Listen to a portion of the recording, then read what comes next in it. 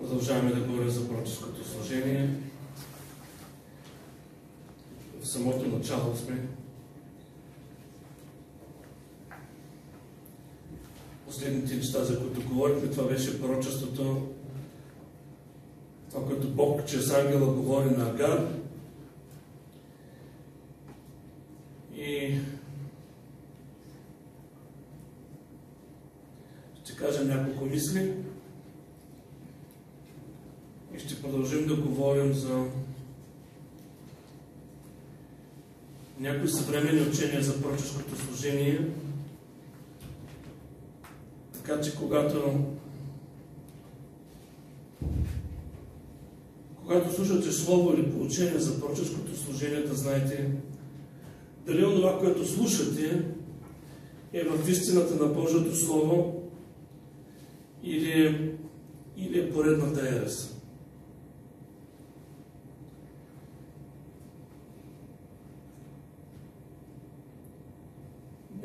Прожектираме, защото трябва да прожектираме иначе цяла глава. Няма да го направим. Става въпрос за Езекил, 37 глава. Спомняте ли се, май всички си спомнят какво пише в Езекил 37 глава. За едни сухи кости на едно поле, пророка беше отведен. Даже не пише как е бил отведен, но вярваме, че в духа той е видял всичко това. Бог му каза да пророкува на сухите кости. И тези сухи кости се облякоха в плът, сухожилия и всички останали връзки. И после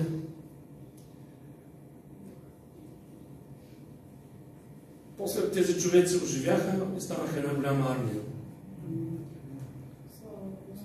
Някой ще каже, дали в основата на, на пророческото слово е даването на живот и надежда? Аз бих казал да.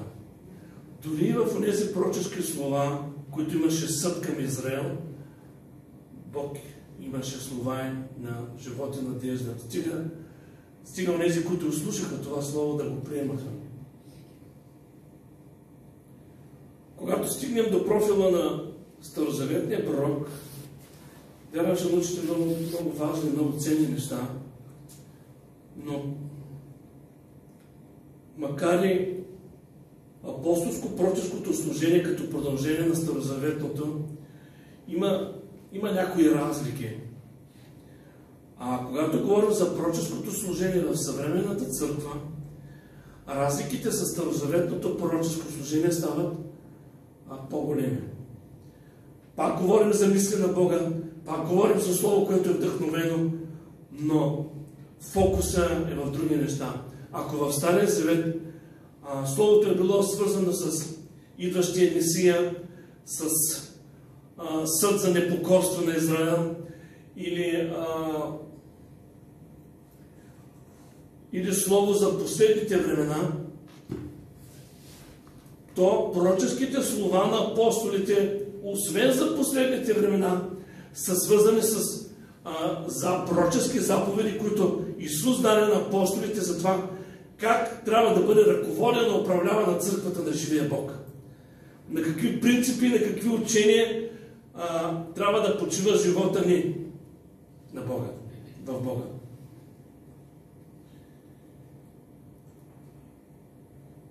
Някои неща, може би ще ги казвам по няколко пъти, за да може, както се казва, да ги уловим, да хванем.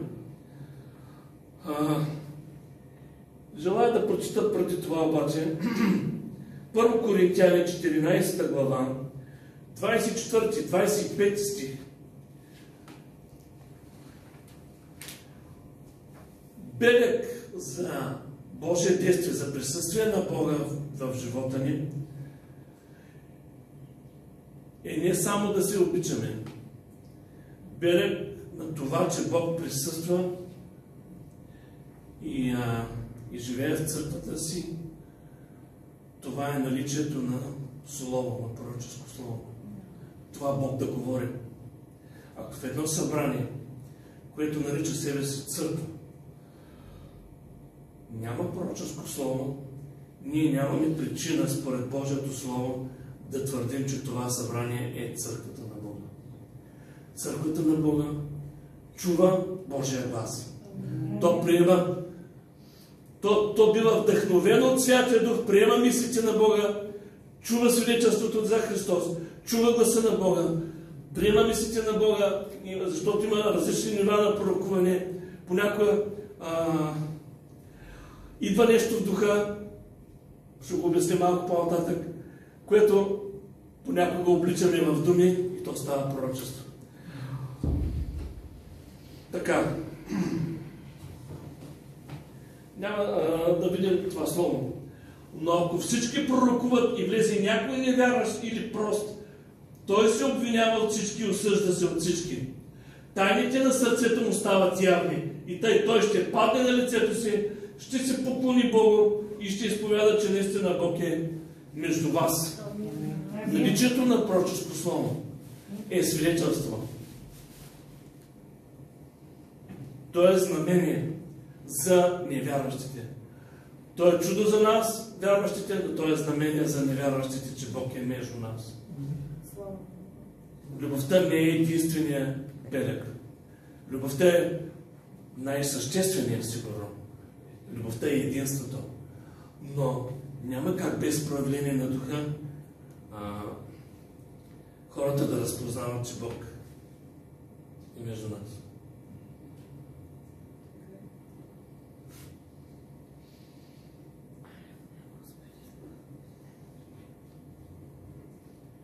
Един мъж на Бога е казал следното.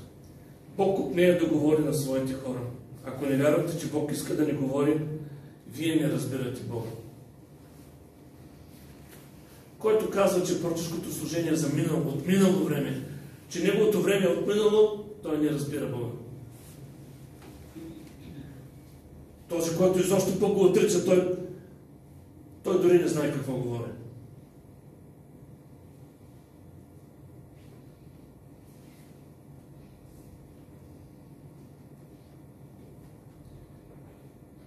Когато пророкуваме, ние прокламираме Божиите мисли към вярващите в настоящето.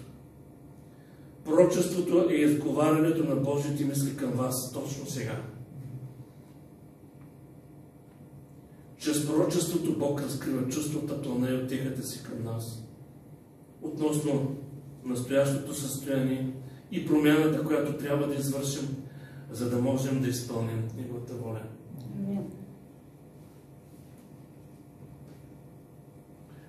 Съвременното пророкуване, брати и сестри, не е свързано с установяване на нови доктрини. Канона на писанието е завършен с книгата Откровение. Няма да има друго писание. Няма да има друг канон. Няма да има друго Бога вдъхновено писание. Това е. Когато сега ти и аз пророкуваме чрез Святия Дух, в Духа, пророчествата са свързани с какво? Да започнем с това, което директно е писано. Обещание, назидание, отеха. Което какво значи? Какво значи това? Това означава, че това, което е установено като учение в Новия Завет, чрез пророчеството Бог ни показва как практически да се случи, как да се изпълни в живота ни. Има учение установено, но неговото практическо а, неговото практическо измерение е точно се съдържа в пророчеството. В пророчеството Бог дава указания, Бог разяснява как изглеждат нещата, как трябва да се случат нещата, каква е посоката, на кое трябва да се наблегне, кое трябва да се изостави. Разбирате? Без пророкуване в, в, в църква, ние няма да можем да прилагаме Божието Слово. Някой ще каже, нали има получение за това. Получението не са достатъчно средство ние да знаем как да живеем в Христос. Имаме нужда от конкретно живо Слово, което в момента Бог дава. Вдъхновено от Духа. От Христос, чрез Духа, към пророка, към служителя и той към човека, към групата или към църквата.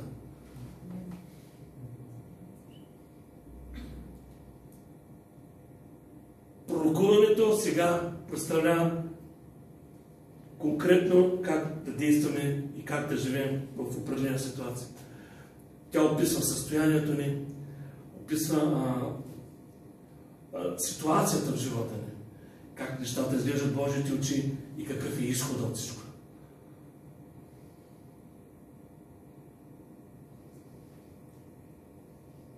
Аз вярвам, че в едно истинско пророческо слово винаги трябва да има слово на живот и надежда.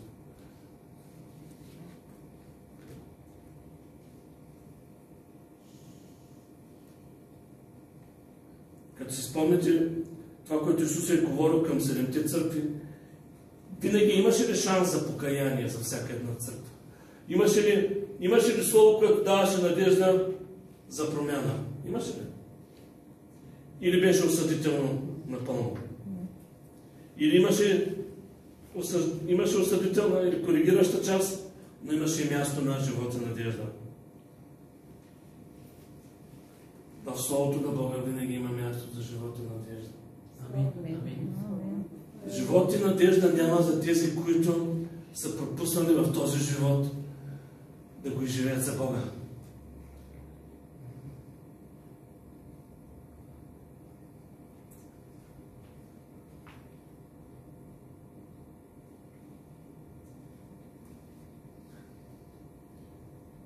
Спомняте ли си има едно слово в Евреи, където се говори за облака от свидетеля?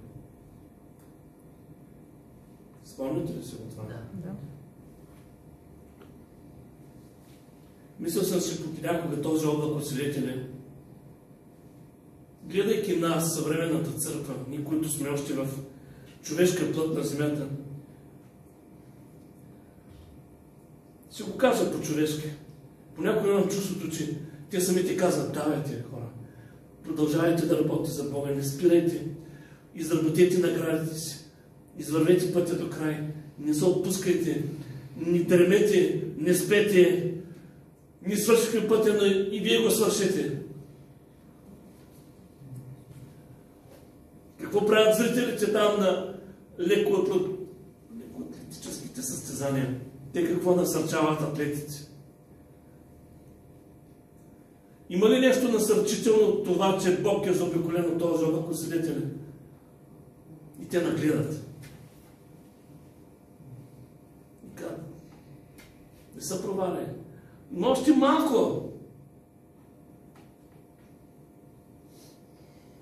Имаше един период моето обучение, в, така да кажа, в военния университет, когато им беше много тежко и направо исках да се откажа да я кажа. Много тежко беше. Много. Обаче в момента, в който Бог ми показваше края на всичко, аз имах силата да продължа. Бог ми даваше да видя края, че края ще е добър, че това има причина, че нещата, това е за мое добро, това цялото обучение, тази дисциплина, тези способности, които ще имам. Всичко това и тези неща в характера, които ще додат, че те са важни. Аз трябва да продължа. Трябва да продължа напред. Не трябва да се отказвам. Че това е важно, за да бъда добър пример един ден. И гледайки всичко това, казвам, няма да се откажа. Не, няма да се откажа. Всички около мен се отказаха, но аз няма да се откажа. Не, не, аз трябва да продължа. Трябва да пресека финалната линия.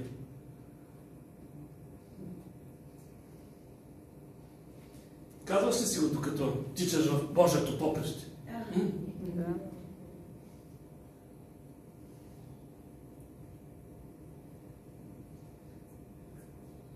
Нали чухте, че в града има две зарядни станции за електрически автомобили?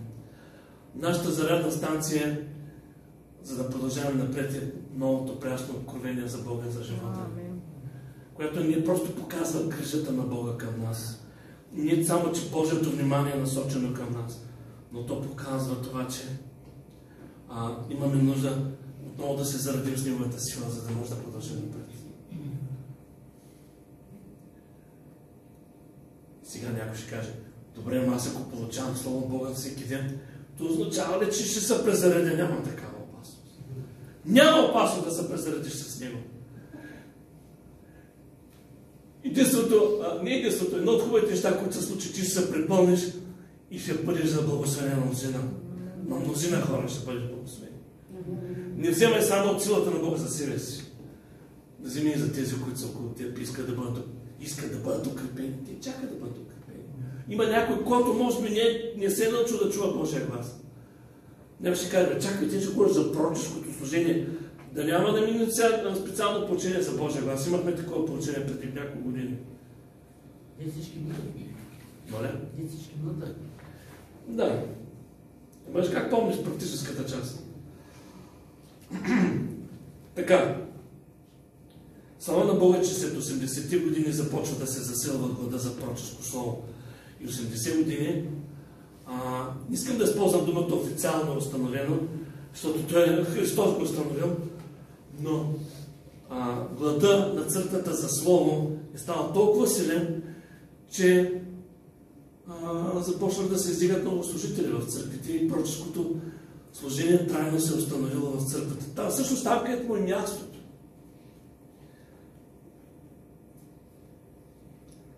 Преди време бях срещнал един брат и той посещава друго събрание, той няма никакво значение, но и, и спря да посещава всеки събрание. И не ставаше въпрос за пророческото служение, но ставаше въпрос за апостолското служение. Той каза, виж кой, брат, аз съм е чел цялата Библия, целият Нов Завет. Няма ги тези неща. И викам, как ги няма? Поне 22 апостоли, викам, са споменати в Новия Завет. Как те ги няма? Как ги няма? Как ги няма? Те ги няма. Как ги няма? Те са там. Даже, даже цяло семейство, цели семейства, мъж и жена, има няколко. Как, как ги няма като са там?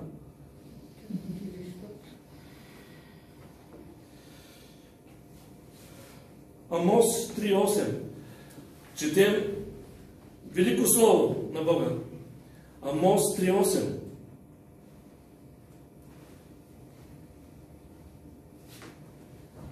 Имаме нужда да бъдем вдъхновявани от Бога.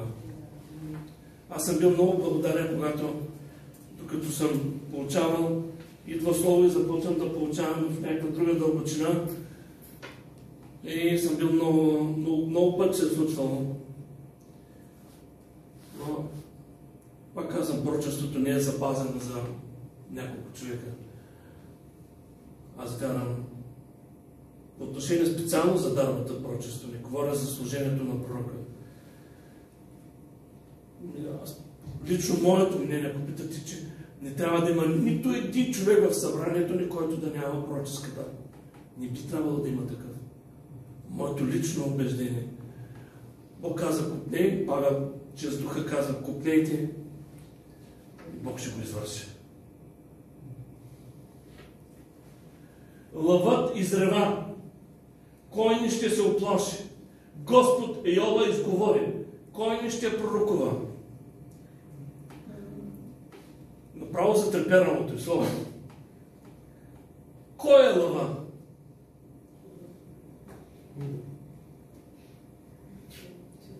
Някой ще каже, чакай бе, брат, да не би това слово да ми казва, че аз трябва да съм оплашен, за да пророкувам. Не това показва, че когато Бог говори, ти трябва да имаш почет към Него, да говориш това, което Бог ти дава да говориш. Не трябва да мълчиш, когато Бог говори в живота ти. Не мълчи, когато Бог ти дава слово. Някой ще каже, но това, не, това, може, това може да не е слово конкретно за цялото събрание. Това може да е слово за човек, това може да е слово за теб, може да е слово за семейството. Не мълчи. Говори го. Естествено, че когато Бог слово, дава слово, Бог ти открива и адреса на словото. Той ти открива получателя на словото. Бог не хвърля послание във въздуха и да ти казва, избери си кое ще кажеш. Няма значение къде ще го кажеш. Не, има значение.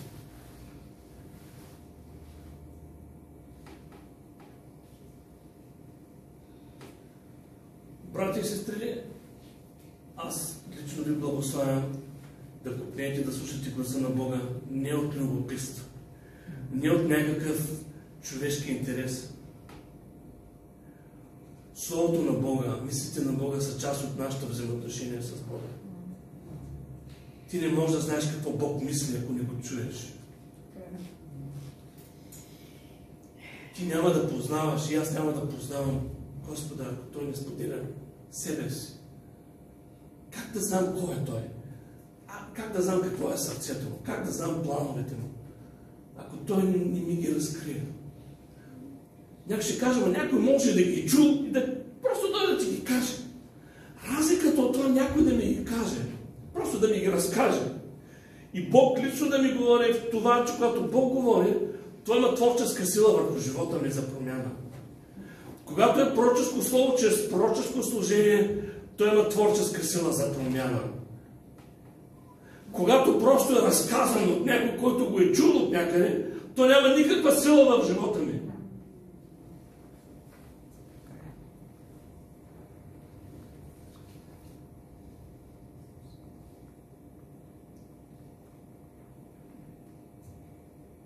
Нали, някой път подобряваме молитвите. Едно от най-подобряващите, говорейки за пророческото слово. Господи, научи ме, когато ми кажеш нещо, да го кажа така, както ти си го казал. С духа, който ти си ми го казал. С силата, с която ти си ми го казал. С, с, вижте, с, с цялата му пълнота да го предадеш. Защото а, пророците търпят а, някои пророци търпят укор от Бога, кога? Когато не, не предават посланието. Точно. Точността не е само в самите думи. Точността е с правилния дух.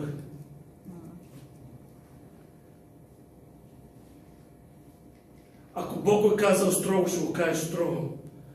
Но твоята строгостта на Бога ще се преживее, ще се усети. И заедно с това ще се усети смирението на истинския пророк. Някой ще чакай, чакай, какво приказваш, как едновременно да е с строгостта на Бога, а от друга страна се усети смирението на съда, който го е приел. Защото някой, чувал съм хора да пророкуват, вие не сте от тях, чувал съм, виждал съм го, които а, така го правят, все едно те са самия Бог в момента говорят. И става страшно.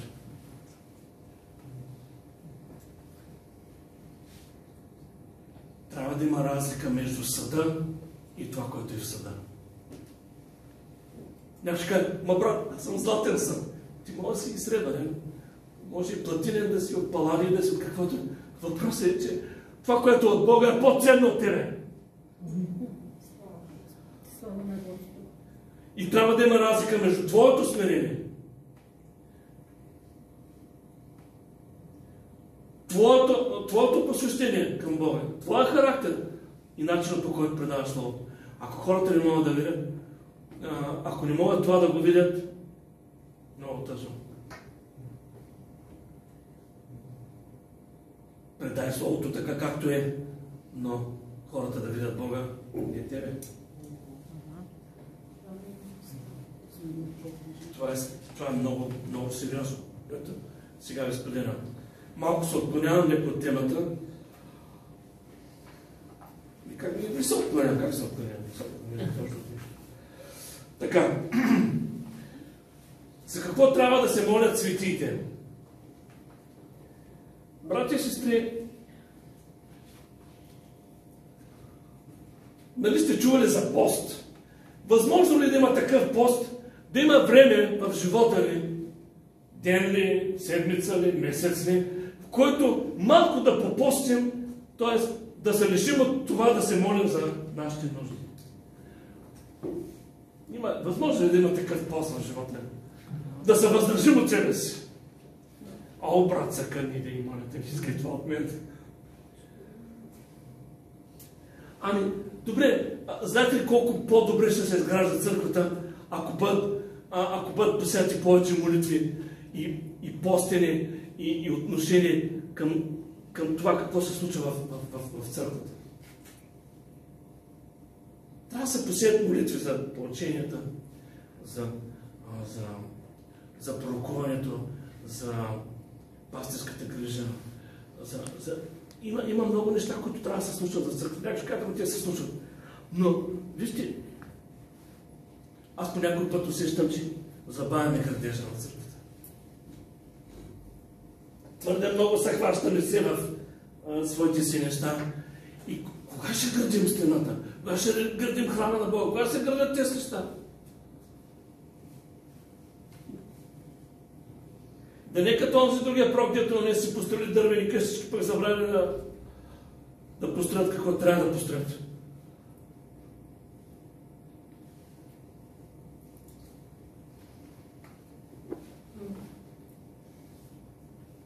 Може да го обясниш? Ами трябва да се молим за делото Божие. Това, което Бог трябва да извърши чрез служенията в църквата и това, което... Защото има служение насочени навън, има служение насочени навътре. Някой ще каже, брат, трябва, ти като служител трябва да си навътре и навън. Така е. Но в крайна сметка, нали имаме помаз... специфични, говоря за специфичните помазания, че трябва заедно да градим църквата. Това, което трябва да го градим заедно. Това, което правим навън, трябва да, да, да, да, да има участие. А, не, не може, ако се заровим всички само в, в своя си живот, про- просто как ще участваме в строежа?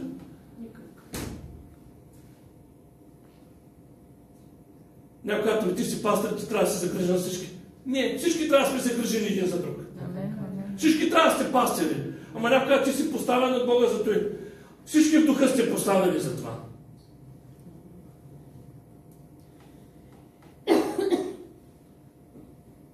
Всички трябва, може да си поставен, от- как да кажа, а, не искам да думата официално, дори да, да, казвам. Но всички трябва да проявят Христос, пастир, евангелизатор, апостола, учителя, всички. всички. Ти трябва да го имаш това в сърцето си. Ти може да не говориш с хиляди хора, но това не означава, че на един човек няма да, да, да го евангелизираш. Ти, ти може да ни, да ни учителстваш в църквата, но може да си учител на този младия, новия младенеца.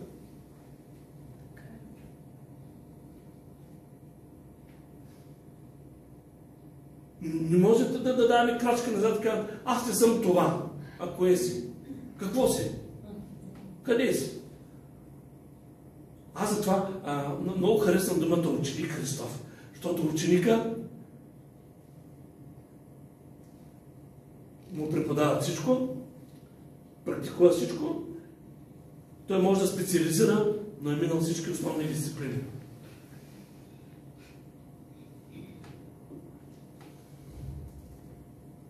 Това означава, че може да покрива при нужда важни области. А, както обещах предния път да спомена нещо много важно. То дори в тази 14 глава, която четохме, си говори за това. А, значи, от една страна, когато Бог дава Слово, то да не бъде спирано, но от друга страна, то да става в, в ред, който Бог е установил. И затова, когато Павел говори за пророчество, той казва, първият почва да пророкува, обаче ако дойде слово към втория, ти първият може да си имаш слово, но ти трябва да спреш и да оставиш другия да пророкува. Ако към трети дойде, втория ще спре. Защо? За да може повече хора да участват. Тук целта ни е да покажеш. Чакай, аз имам цялото слово. Другите няма нужда да получават нещо. Това не е важното всички да се наседават. Защото дори този, който получи право да, шанса да пророкува, той също се назидава. Неговото сърце също се радва, защото участва. Забелязва си, когато малките деца ги възпитават в трудови дейности, колко се радват, че могат да помогнат. Могат да правят нещо, което мама и тати правят вкъщи. Но когато децата не са били учени за това, после като пораснат и мама и тати кажат, ела ми помогни, те казват, сега ми се иска. Но ако те са го правили като малки, Това си остава.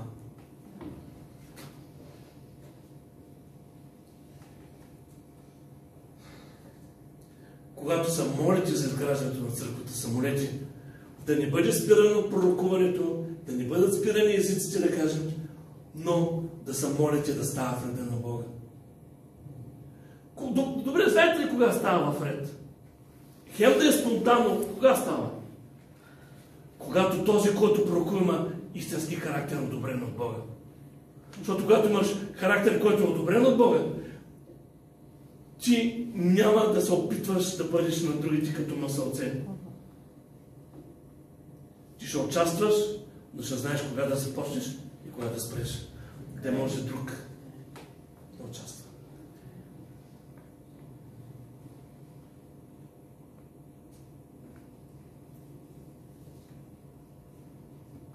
Така, да кажем за няколко минути погрешните.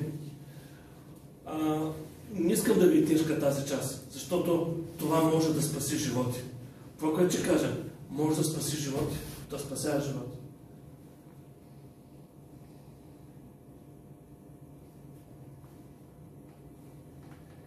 Някои от нещата ги споменах предния път, но аз ще ги припомня, ще ги кажа отново. А, едното от погрешните пророчески получения за пророческото служение се състои в следното, че когато Исус е възнесъл на небето,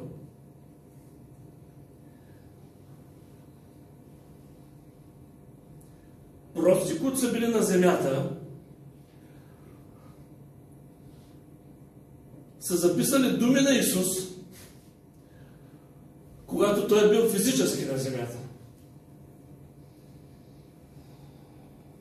Има, а, има книги на пророческата традиция, в които някой е записал думи, за които твърдят, че Исус той нещо бил го казал, но по някаква причина то не е попаднало в Евангелията, ама сега тези пророци са чули, че е било казано и, и то трябва да се приеме като слово на Христос.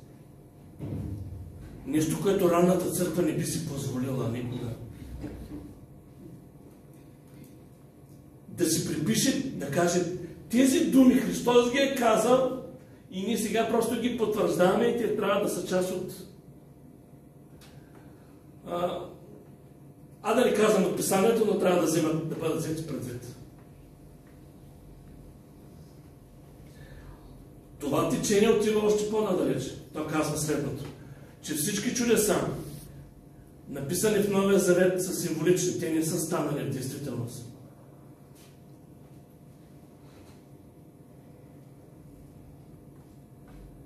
А думите на Исус а, не трябва да бъдат приемани като пророчески, като нещо, което просто той е казал. Това, е, това са много, как да кажа, това са много, много, много, много, много сериозна ерес. Ние всички са запознати с нея, но тя, тя си посяла своите отровни семена на някои места. Ти да кажеш, че чудесата на Христос са нереален, те не са се случвали. И думите на Исус, които даже по-голямата част могат да кажат, че са пророчески, ти да кажеш, че просто това са негови разкази. А дори това учение стига още по-на... Това са много, много опасни неща. Те казват следното. Дори Исус той нещо да не го е казал на земята, понеже той самото слово подкрепят доктрините на ранната църква, то трябва да се приеме като такова. Не можеш да кажеш, че Исус е казал нещо, което не е казал на земята. И не можеш да го записваш това нещо. И да го твърдиш. Не ще кажем, чакай да Исус говори на църквата. Едно е да говориш. Едно е обаче да твърдиш, говорим за думи, казани от Исус на земята. Защото вижте, думите казани от Исус на земята. Случки са описани в Евангелията. Те са в основата на канона, те са в основата на Бог вдъхновеното писание. И никой не може да си играете с това нещо. А, чували сте, че има Евангелие, на кой е на Петър, има Евангелие на Андрей, на Юда, на всякакви такива, които, които всъщност не са на самите апостоли, но а, и сфабрикувани. Послания, Евангелия има. Много такива. И, и, има, и много хора са били заблудени, че това са думи на Исус, че са думи на еди кой си, еди кой си. Така, да минем към следващото. Тази, това учение се казва критичната школа или, или и твърденията на Исус, аз ви казвам. Следващото много опасно е, че пророческото слово и служение е приключило с написването на Библията и вече няма пророческо слово. Това, което са писали старозаветните пророци, това, което са писали новозаветните и край. Няма. Ерата на пророческото служение приключи. Хубаво, единственото, може би хубаво на това учение е, че изключително много защитават Бого вдъхновеността на писаното писание, но само до там.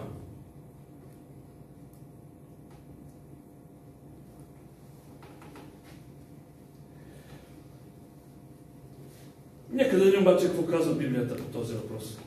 Откровение 19.10.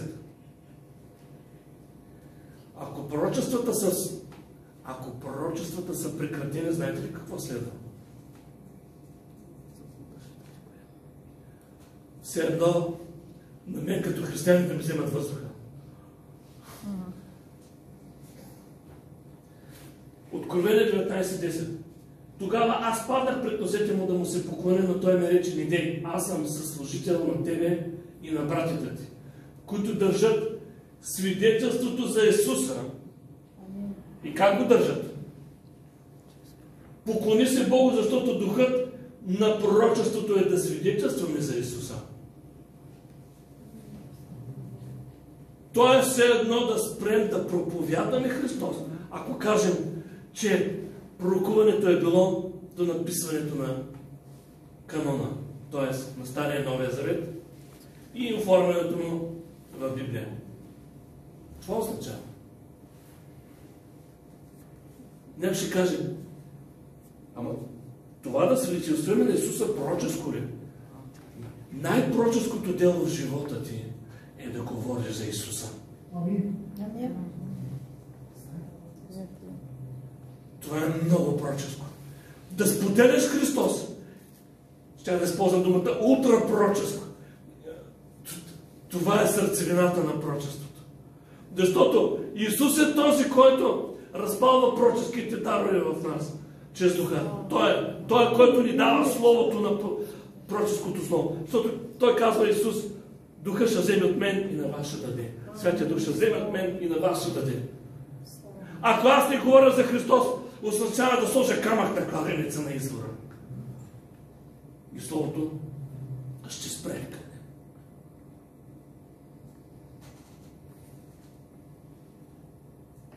Имаш ли купнеш да споделяш Христос? То тогава духа на пророчеството действа в живота ти. Но някой казва, аз нищо не пророкувам, аз просто казвам неща, които са станали преди 2000 години. То е пророческо, защото той а, ти спася чрез Твоето Слово, чрез Божието Слово в теб, ще бъдат спасени хора за вечността. Вечността къде? Не е в пророческото. А миналото не пророческо.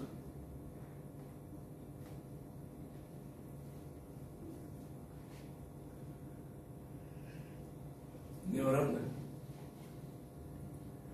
Седна да спиреш Христос да говори ако се отречеш от това. Да кажеш, че пророческото служение е приключило, означава да, да кажеш, Исусе, моля те, не говори повече на църквата. Ние вече сме се отрекли от служението. Ние сме го анулирали. Ама Божието Слово казва, не се връзва. Никой не може да вържи Божието Слово. Вижте, винаги става така, ако на някое място, където ще което нарича себе си църква събрание, се потиска Словото на Бога, ами то ще избие на друго. Там ще присъхне и извора се отвори на друго място. Пробвали сте да спрете е някаква река да тече. Отиваш да ставаш и кажеш, тече. Ще тук ще те затисна и ще спре да тече. Но тя ще мине през тебе, бе. Аз както съм олимпийски шампион по плане, ще спя пред Дунава и ще кажа, спри, бе. И, и чак в, устието ще отида чак. Докато се опитвам да изпълня. Така, да видим още на сон. Сега си кажа, брат, ти хубаво не ги кажеш тези неща. Ама тези неща няма да попаднем на място, където да ги чуем. О, ти не знаеш къде ще заведе. А, а какъв е плана на Бога за теб? Ти не знаеш.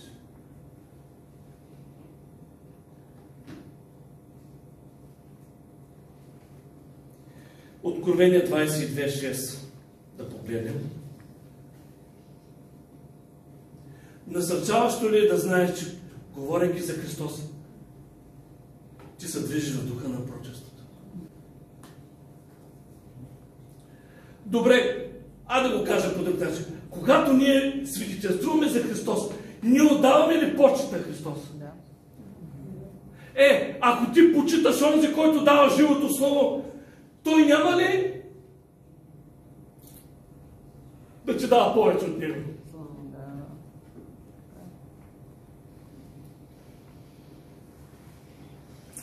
Аз така си мисля. Не можеш да правиш място на Бог живота си и, и Бог да се прави с едно, че нищо не е станало.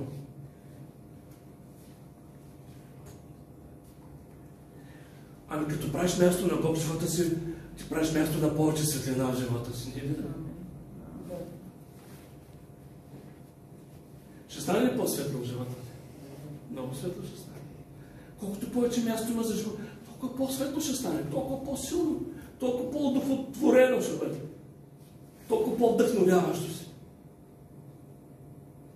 Защо апостолите са били толкова дразновени за Бога? Защо са били пълни с Него? Да не ги спри. Как да ги спреш? Те са готови да умрат. Само мъртви някой ги спира. Ама тъй като умрат, те са, Бог издига десетки други. Те даже те, с които ги гонят, се замислят така, чай са, ние сега спряхме един те, много повече се появиха ни, то ще трябва да спираме даже. Ние си направихме по-голям проблем. И речеме, тези, тези думи са верни и истинни. И Господ Бог на пророческите... А, мой. Прати ангела. Какво? Да покаже на неговите слуги това, което трябва скоро да стане. Или което трябва да се случи скоро. Бог е този, който е да върви поклонение. Бог е този, който държи контрола на пророчеството. Той го инициира, той го предизвиква пророчеството.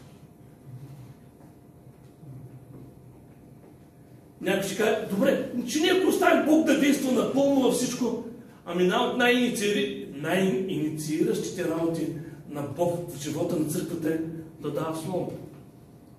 Ще кажеш, ами ставате чудеса знамения. Не само чудеса и знамения ще ждем. Позволим на Господ да се движи между нас, в нас, около нас, над нас. Сега Той ще помете всичко. Но каза само остали.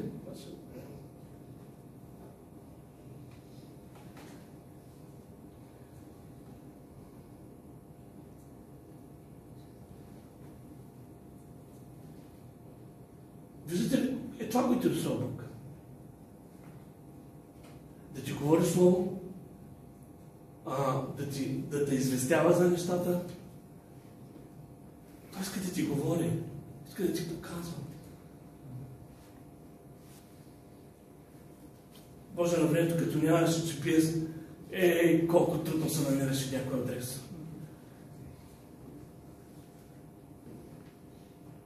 И сега всяка има GPS-и, има още по-точно позициониране. И си казваш, е, колко лесно да намериш някакво място.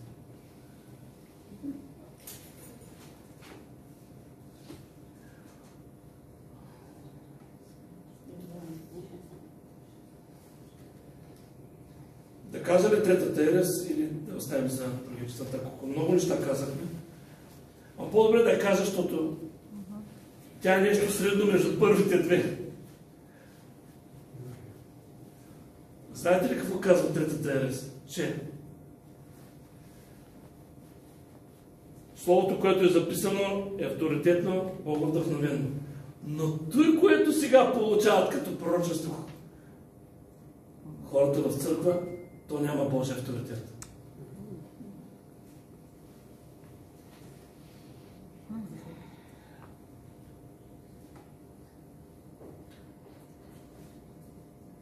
И знаете ли защо го твърдят? Само още две минути може ли? Защо това се твърди? А, това също ще ни предпази. А, някой чувал ми на времето, когато съм използвал израза преди много години, тези, които са по-давна събрани, чували сте ми да използвам израза пророческо впечатление.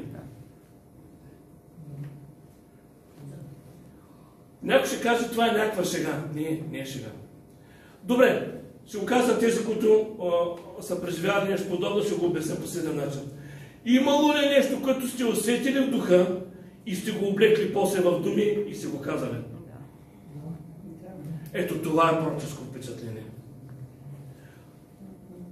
Сложната думичка, която може да чуете, е импресия. Думата импресия означава впечатление.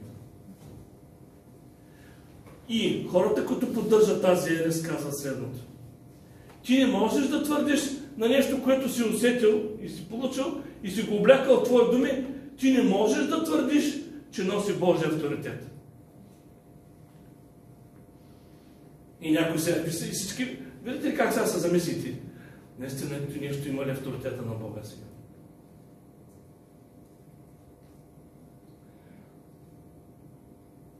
Аз няма да кажа, че няма авторитета на Бога, но ще ви кажа нещо, което е полезно и ще ни предпазва от падане. Сега, включете на свърхчувствителност. Братя и сестри, когато сте имали пророческо впечатление, пророческа импресия, нещо, което сте усетили духа, но сте го облекли в свои думи, за да се предпазите от падане. Не използвайте тук, така ми каза Бог. Това не го казвайте. Просто кажете, това усетих духа си, го кажете. Но не, го, не казвай, така казва Господ. Това не го... Просто спестете го това. Защото ние използваме свои думи. Няма как върху твоите думи ти да кажеш, така казва Господ. А, нали? Нали усещате, че не е, не е добре, не е коректно това? Усещате ли, че не е коректно? Но аз мога ли да кажа, че това, което сте усетили не е от Бога? Особено ако той е вярно, се е изпълнил и всичко е точно. Аз не мога да кажа, че не. Но не използвайте думата така казвам. За думи, които ние слагаме, не. Вижте, цялата слава винаги да си е за Бога. За всичко. Сега, когато имаш директно слово от Бога, естествено ще кажеш, така ми каза Бог. Или така ми каза Духа. Но когато е твои думи върху пророческо усещане, спестете си, така казва Господ. Това добре ли е? Това добро ли е? Имайте предвид, че в пророческите училища ключат точно това. В пророческите училища по света, добрите пророчески, те се учат точно това. Да знаят кога се казва това, да знаят кога се казва друго. Тежко ли стана мисля? Да стишеш аз.